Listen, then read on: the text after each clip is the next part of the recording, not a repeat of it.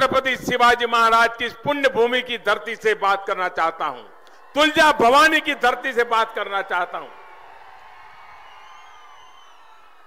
मेरे first time voters आपने देखा होगा कि हमारे यहाँ कई परिवारों में देखने को मिलता है कि किसी भी बेटे या बेटी को कहीं काम मिल जाता है, नौकरी मिल जाती है, कमाई हो जाती है।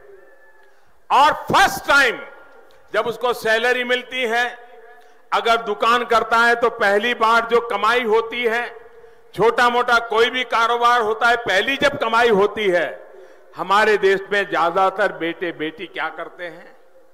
पहली कमाई खुद के लिए नहीं रखते हैं। मन में सोचते हैं कि जाकर के माँ के चरणों में रखूँगा, या जाकर के अपनी कोई आराध्य देवी होगी उस मंदिर में जाकर के चढ़ा दूँगा, या अपनी छोटी बहन होगी तो पहली कमाई उसको दे दूँगा। ऐसा आज भी होता है कि नहीं होता है? ये हम पहली कमाई दे देते हैं कि नहीं देते हैं? ये देश की परंपरा है। मैं आपसे कहना चाहता हूँ, मेरे देश के फ़र्स्ट टाइम वोटर को, आप भी संकल्प कीजिए कि पहला वोट आपका, जो आपके जीवन की ऐतिहासिक घड़ी है। आपके जीवन पर याद रहेगा कि पहला वोट कब डाला, कहाँ डाला, कौन सा चुनाव था, किसको डाला। ये जीवन पर याद रहने वाला है। हर किसी को पहली घटना याद रहती है। मैं जरा कहना चाहता हूँ, मेरे फ़र्स्ट टाइम वोटरों को, क्या आपका पहला वोट पाकिस्तान के बालाकोट में एयर स्ट्राइक करने वाले वीर जवानों के नाम समर्पित हो सकता है क्या? मैं मेरे फ़र्स्ट टाइम वोटर से कहना चाहता हूँ कि आपका पहला वोट पुलगामा में जो वीर शहीद हुए, उन वीर शहीदों के नाम आपका वोट समर्पित हो सकता है क्या? मैं फ़र्स्ट टाइम वोटर को कहना चाहता हूँ, क्या गरीब को पक्का घर मिले? इसके लिए आपका वोट समर्पित हो सकता है कि नहीं सकता है। मैं मेरे फ़र्स्ट टाइम वोटर को कहना चाहता हूँ, किसान के खेत में पानी पहुँचे, इसके लिए आपका पहला वोट जाना चाहिए कि नहीं जाना चाहिए।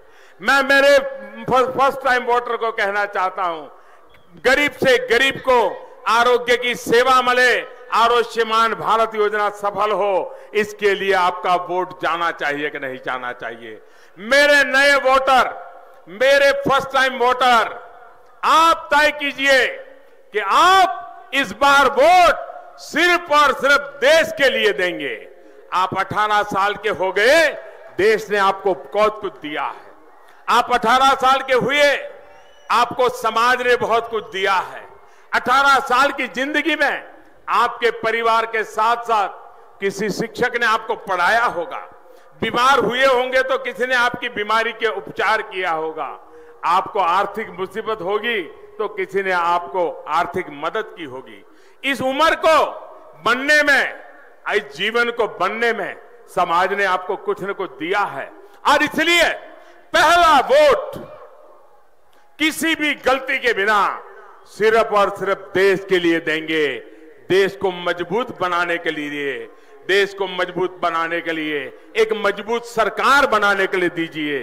और मैं फ़र्स्ट टाइम वोटर को कहता हूँ आप गर्व से कह सकेंगे आप अगर कमल पर बटन दबाएँगे या आप ती, धनुष तीर पर बटन दबाएँगे आपका वोट सीधा सीधा मोदी के खाते में जाने वाला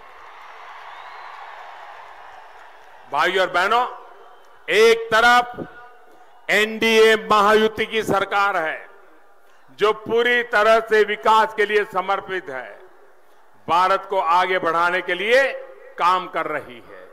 दूसरी तरफ़ कांग्रेस एनसीपी की महामिलावट है, जहाँ अपना और अपने परिवार का स्वार्थ राष्ट्रहित पर भारी पड़ रहा है। इतनी गुटबाजी है कि समझ ही नहीं आ रहा है कौन किसके साथ है? क्या गुटबाजी में फंसे लोग आपका, अपना भला, आपका भला कर पाएँगे? आपका भला कर पाएँगे? जो अपने परिवार की सोचते हैं वो आपका भला कर पाएँगे?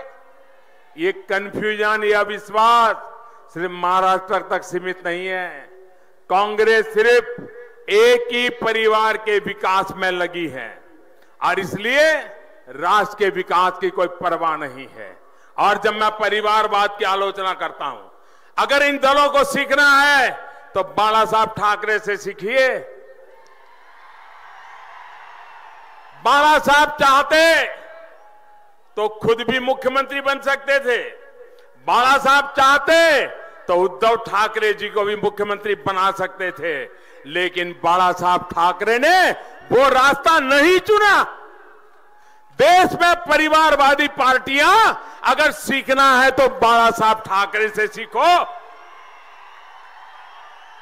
अरे, कांग्रेस में भ्रष्टाचार ही शिष्टाचार है। आपने देखा होगा, कल परसों कैसे कांग्रेस के करीबियों के, कांग्रेस के दरबारियों के घर से बक्सों में नोटे निकली है नोटे देखा कि नहीं देखा? टीवी पे देखा कि नहीं देखा? नोट से वोट खरीदने का ये पाप इनकी राजनीतिक संस्कृति रही है। अब बताइए भैया, वो पिछले छह महीने से बोल रहे हैं, चौकीदार चोर है। बोल रहे कि नहीं बोल रहे लेकिन नोटें कहाँ से निकलती है? नोटों के बंडल के बंडल कहाँ से निकल रहे हैं? असली चोर कौन है? असली चोर कौन है? असली चोर कौन है? चौकीदार का भय किसको है? चौकीदार का भय किसको है? चौकीदार से कौन काँप रहा है? इतने नोटों के बंडल के बंडल निकल रहे हैं तो चौकीदार को गाली नहीं देंगे तो क्या देंगे? सोचिए, मध्य प्रदेश में सरकार बनी, अभी छह महीने नहीं हुए हैं। लेकिन इनकी मास्टरी देखिए। तो आप सुन रहे थे योग